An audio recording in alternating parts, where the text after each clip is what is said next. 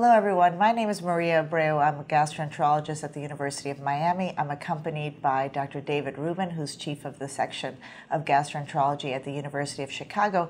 We are recording from DDW, and this is Expert Perspectives. Last night, we had a symposium entitled The Evolution of Personalized IBD Care Navigating Mechanisms of Biologic Therapies. And we'd like to bring you the highlights of that if you didn't have an opportunity to join us last night we had uh, a lot of exciting things happen at DDW. Um, in the world of IBD, we now have a lot of different biologics and therapy, small molecules that are directed at different targets than the ones that we've had previously. And I think uh, anyone who's watching this probably knows already that the majority of the biologics we've had available to us in both Crohn's disease and ulcerative colitis have been anti-TNF based. And, and that has been, for those of us that remember the time before anti-TNF therapy, we know that that was one very great advance. Added to that was the recognition that for the majority of patients that are on anti TNF therapy, combination therapy augmented that response uh, in terms of the number of patients that went into remission and had mucosal healing, and that applies for both Crohn's disease and ulcerative colitis. Our colleague Miguel Regueiro, who's at the University of Pittsburgh, then highlighted some of the new mechanisms of the of drugs that we have available to us and some that are on the horizon. I'll begin by telling you a little bit about the ones that we have available to us now. Um, the first in that, that is FDA approved for both ulcerative colitis and Crohn's disease, is vedolizumab. Part of the excitement um, in our community of why uh, we're excited to have vedolizumab is because for the first time in a long time, we have a medication that works through a different mechanism of action. In this case, it's a gut selective antibody that blocks the ability of certain lymphocytes getting into the GI tract. The analogy that I draw for patients and for uh, other gastroenterologists to try to describe the differences between an anti-TNF based approach and this type of approach is that in anti-TNF based approaches you're basically blocking the bullets of the inflammatory response. Whereas if you use this vedolizumab and other agents like it you're really blocking the soldiers from getting to the site of, of mischief or the battlefield. And so these medications as a class take a little bit longer to work because in their, their, their again, as I mentioned, block new recruits getting to the battlefield, but whatever's on the battlefield gets to stay until they decide to go home or something else happens to them. And so therefore they take a longer period of time than what we've been used to because it's not just taking the bullets away. So vedolizumab is approved, but at DDW we're going to hear presentations from different mechanisms, again, targeting the same idea, whether it's antibodies directed at the blood vessels so that the lymphocytes can't get out, or other strategies to block the lymphocytes trafficking to the GI tract. So there are lots of different things on the horizon that ultimately will be similar to vedolizumab, but we have vedolizumab now. Uh, Miguel mentioned that ustekinumab, which is commercially available now, actually for people that have psoriasis or psoriatic arthritis. Um, is effective in, in Crohn's disease. That's been known. It was published in the New England Journal of Medicine. And in the coming, certainly in the coming year, we expect the larger study of ustekinumab in ulcerative in Crohn's disease to be published and available. And so we have that on the horizon. And then um, the other category of, of, of, drugs that, that, again, looks very promising is that uh, the JAK inhibitors, um, the JAK pathway is a pathway that um, that is responsible for signaling of a lot of different cytokines. So by blocking it, you're blocking a lot of pro-inflammatory cytokine signaling. Tofacitinib is one such drug currently approved for rheumatoid arthritis. It's been shown to be effective in the treatment of ulcerative colitis and showed a very nice dose response curve uh, in a New England Journal of Medicine paper that's already been published. And on its heels are other companies that are developing other JAK inhibitors that are more specific, again, for the treatment of IBD. So the horizon is bright with different things for, for IBD, and I think that you know this DDW is exciting, but the, the future DDWs will be even more exciting. So we talked about that, all the different biologics and different things that we have available to us that, that work by different mechanisms of action. And I'll share with David and I'll share with you that I talked about a patient that I care for uh, that actually has ileocolonic Crohn's disease where she has significant colonic involvement. She's lost a lot of her colon already. She's got an ileum to colonic anastomosis, maybe like ileosigmoid anastomosis, David, with active disease. She has been really one of these people who really wants to focus on diet, doesn't like to use drugs, although I've she's capitulated to using azathioprine and had essentially therapeutic levels of azathioprine. Uh, but when um, but she was sick, lots of diarrhea, elevated, quite elevated fecal calprotectin, elevated C-reactive protein. Um, we had started her on adalimumab, um, found her to have low levels, in my mind, low levels, uh, but I'm going to welcome your feedback on that, like four micrograms per ml in, in her blood. Then on weekly went up to 12, but still she was not doing better. And I'm wondering if you could tell us a little bit about your approaches um, with respect to how you optimize therapy for someone like this, David. Well, thanks, Maria. Uh, it was a, a, wonderful symposium last night, and in addition to hearing about novel mechanisms and the existing and newly arrived therapies, we talked about how to optimize our current therapies, which of course is very important. Both Steve Hanauer and I covered our current approach to management, and we talked in different directions a bit about how you assess the patient, treat them, and make sure that you're achieving a better response and hopefully a durable and stable remission. And when the patient isn't responding, how you can assess them and determine whether or not you should be using a different mechanism of therapy. As we have these newer therapies arriving, it becomes more important than ever that we're being thoughtful about what our first agent might be and how we move on to other agents. What I spoke about was really being proactive in your assessment. So, thinking about the prognosis of the individual patient, understanding a little bit more about what therapy you want to start and what your endpoint should be. Rather than waiting just for symptom improvement, which is obviously still very important, we also talked about using objective markers of disease control. In particular, we talked about what we know, which is that achieving a healed bowel is certainly associated with better outcomes, but how you might do that with other markers as well. We now know, for instance, that having an elevated CRP, even in a patient who is in clinical remission, feeling well, that elevated CRP is a marker of a patient who's more likely to have a hospitalization, end up with a bowel obstruction, or have other problems. And we've started to appreciate more and more how we can use a fecal calprotectin in clinical practice, both to assess how active the disease might be when we're making our initial assessment, but very importantly, as a monitoring tool in people who we've started therapy on and we want to know whether they're responding, or patients who've had surgery and we're trying to assess how soon we might start therapy or when we might adjust therapy because they're having recurrence. So we went through all of these different strategies, and then in the context of Maria's patient, just to summarize, a young woman with uh, Crohn's disease of the small bowel and colon who had previously had surgery who um, was exposed to infliximab in the past prior to surgery, a few doses of it, then needed this resection, and now has presented with recurrent disease. On azathioprine, adalimumab was added. The, the um, patient didn't respond as expected, and in an assessment, the inflammatory markers, both CRP and fecal calpro, were elevated. The adalimumab level, which we're increasingly looking to as a marker for how the drug may be present or not, uh, was in a range that we think might be a little low. Um, most of us have been talking about adalimumab levels of about five as our mm. cutoff that's associated with response, but the reality is that we don't have a good dose response curve in understanding these types of patients. Uh, and uh, the patient even had an escalated strategy with the adalimumab going to weekly. So, for a clinician, and we've all faced patients like this, is this somebody who really is not responding to a mechanism of combination azathioprine and TNF blockade with adalimumab? Or is this somebody who just doesn't have enough drug present? And in the reality of the world we all practice in, um, can we in fact do anything more with the adalimumab? Can you get higher doses with the existing uh, payers and availability of drug?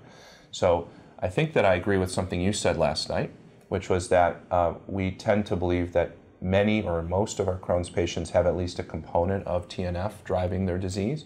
And if we could just get enough therapy into them, we might get the response mm-hmm. we're looking for. I agree that um, with the original adalimumab level, going to higher doses, at least weekly, would be useful. In my practice, when I escalate the adalimumab dosing, I always give another loading dose 1st mm-hmm. I give them 80 milligrams, and then I go to 40 weekly, mm-hmm. trying to boost them up a little bit. That's somewhat empiric. Yeah.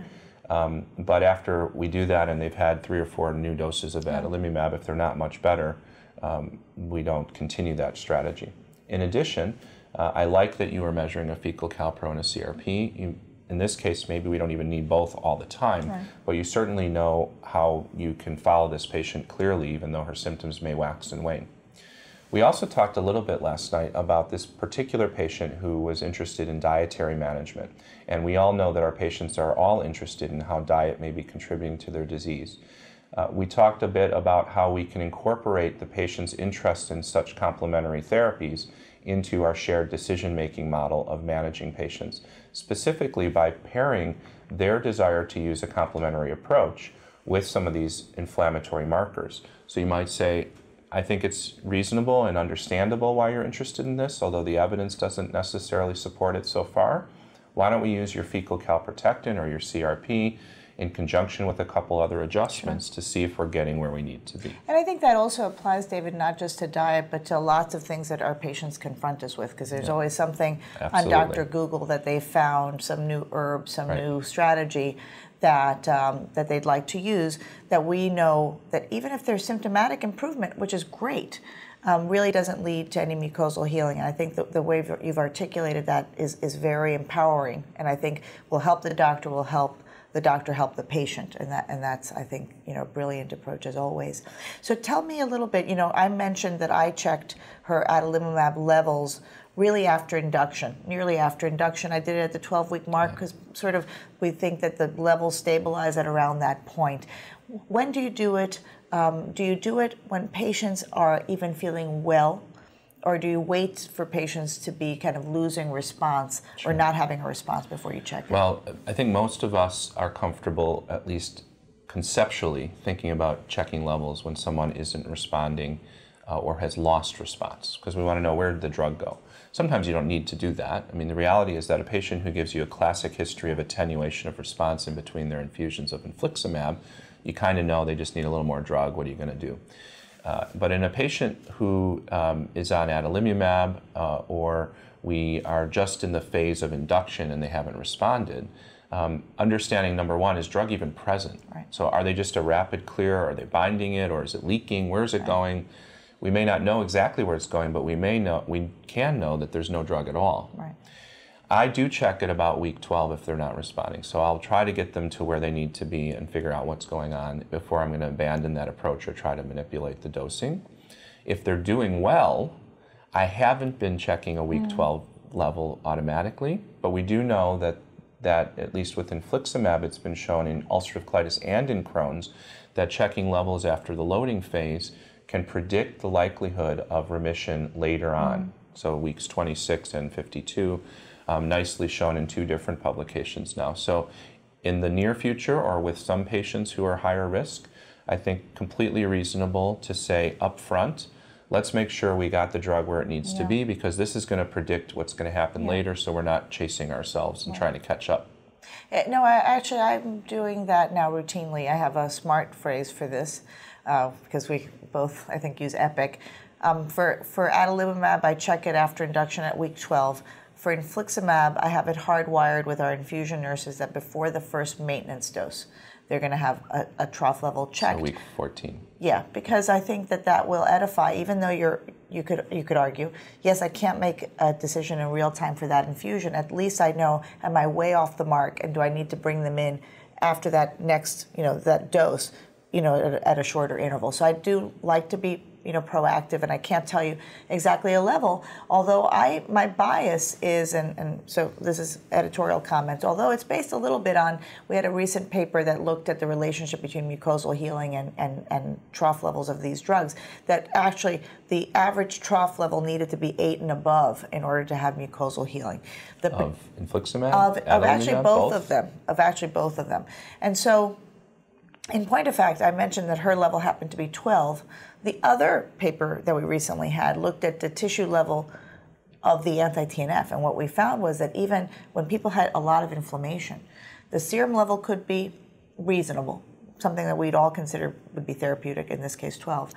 And at the level of the tissue, it might be high, but the amount of TNF that's there locally is just out of this world. Mm-hmm. So it really is way too much. And so operationally, the question is could we ever give enough anti TNF? And your point was we have the limitations of in addition to everything we've discussed, the, the, limitations of how much can we really escalate the dose now in the you know for uh, with respect to insurance and payers and all of that. So in that with that sort of as a backdrop, then David, now you have this patient clearly inflamed, levels of 12 already on weekly.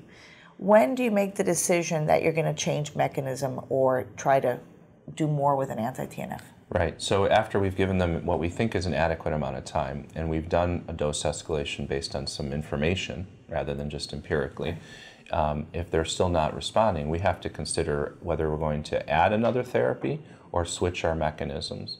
And at this meeting, actually in the postgraduate course, I spoke about some of the new terms that we're trying to incorporate so that our colleagues will use the same names and terminology as they talk about this. So the distinction between cycling between different drugs that are within a class or swapping, which we've been saying switching, but the term that's been advocated by other um, immune diseases has been swapping to a different mechanism. So why don't we start by talking about whether there's any rationale to cycle this patient right. first, okay? This patient had been exposed to infliximab uh, loading doses prior to surgery, and the, the loading doses didn't work probably because she just needed surgery. She had pretty bad disease that had been going on for a while. Can you, in fact, safely go back to the infliximab? Right. Because I think we both had the experience that IV infliximab, weight based, has a little more flexibility in dosing, and we might be able to get more anti TNF into her system. We now have a number of studies that show both with infliximab and adalimumab the utility and uh, safety, as well as some uh, approaches that have been proposed of going back to one of the agents mm. after a drug holiday. Mm. So I spoke last night a bit about how do you approach a patient who's been on a drug holiday from an anti-TNF if you want to go back to the drug. Now this is a little bit of a shift in course for us since we thought very strongly that once people had been exposed, they were burning a bridge if they didn't stay on the agent. But we've now learned that some patients can certainly go back and in fact respond well when it makes sense. I don't think it's reasonable to do that if you had previously given um, the drug and the patient had a hypersensitivity reaction and documented immune response to the therapy that limited its effect effectiveness.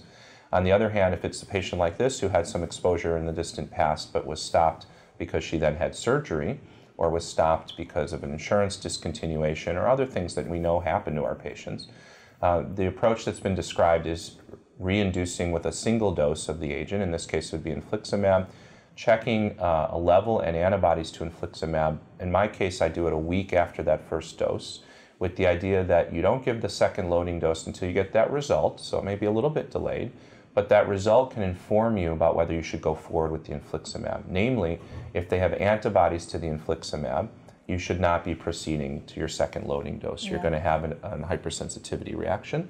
And if they have detectable drug and no antibodies, it's reasonable to continue on and see if they respond. Yeah. I think that would be a reasonable thing yeah. to consider in this young woman. On the other hand, swapping to a different mechanism, especially now that we have other things to consider, is very reasonable as well. And in this case, talking about switching to an anti integrin therapy, I think was um, a very reasonable discussion we had last night.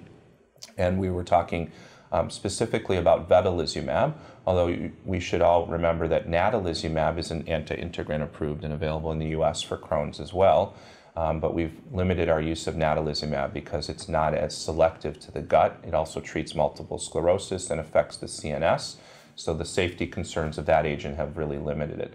With vedolizumab, the gut selective mechanism enables us to think specifically about our patients with Crohn's and UC and in this case, I think going to vedolizumab is a very reasonable yeah. approach. Yeah, I think that uh, those are great points, actually, David. Uh, with respect to uh, reinduction with, say, infliximab, I think that a lot has been learned that the dogma that you can't go back to it is, is really is really not true. Um, I think in her case, she's at a little bit higher risk in my mind because she got three doses, and that's to me the perfect storm when they got very few doses. We know that if someone has been on infliximab for a longer period of time, say a year, um, in Séverine Vermeire's paper from Belgium, they found that if people left infliximab because you know they got pregnant, they were already in remission, they had been on it for a certain period of time. They they by and large could be restarted, and and in particular if they go on into an immunomodulator before they restart, they could be restarted. I think her in her case it's a little dicier, but perhaps something worth trying. But yes, I think it's great to know that we have vedolizumab, and and, and knowing how risk averse she is, all I need is for her to have an infusion reaction for her to for her to lose complete confidence. That's an important point. So the the patient who is interested in these additional therapies, I think. Spending a little time explaining the mechanism of some of our novel therapies and describing what her risks may be is very important. Yeah. Maybe just for the last few minutes, David, we've been talking about Crohn's disease and um, cycling and swapping. Um, tell me a little bit about uh, whether your algorithm is any different for ulcerative colitis. And we'll start really, I, would like to just start with a virgin patient. You have a virgin patient, virgin to biologics.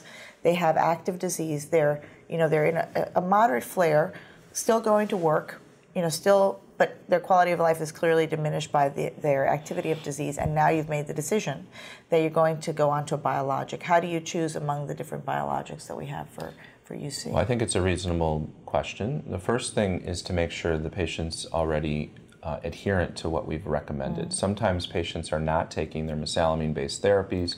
There's easy things that we shouldn't skip in our interest in treating with other agents. Uh, the second point that's important to make is that we haven't had comparative effectiveness studies of our biological agents in ulcerative colitis. So while we're very interested and uh, certainly excited by uh, vedolizumab in ulcerative colitis and the safety profile that it uh, has, we also need to think a little bit about um, whether or not, for some patients, it's better to continue down a path where we're going to use an TNF first. Right. In my patient who is moderately active, adherent to their mesalamine, maybe on the verge of using or needing or even on steroids, whether it's budesonide to the colon or even prednisone, um, it's time for us to talk about an immune-based strategy. I'm not a fan of azathioprine and 6-MP and UC like this um, unless they are immediately steroid responsive and it's a very clear picture. Right. Most of the time I'm going to move to something else. I think it's completely reasonable and we should all be talking about organ selective or organ specific treatments when possible before systemic therapy, with exceptions. Um, we don't necessarily know that the patient who has ulcerative colitis with ankylosing spondylitis right. or pyoderma or other extraintestinal problems or parallel immune processes wouldn't do better with a more systemic approach. Sure. Um, the other issue really is our payers, uh, who are limiting some of our choice right now, which I don't necessarily think is right medically, but is a reality we have to face. So we should remember that our TNF agents have done the heavy lifting in UC up until now, that they still are effective. Uh, I think for an active professional with moderate disease, it's reasonable to consider one of our injectable agents, mm. adalimumab or golimumab in this situation. Uh, but um, getting to the point where in our algorithms we're going to use vedolizumab before we get to TNF mm. inhibitors is something that we should definitely be considering, and I have done in my practice. Yeah, that's a very thoughtful answer. Thank you, David.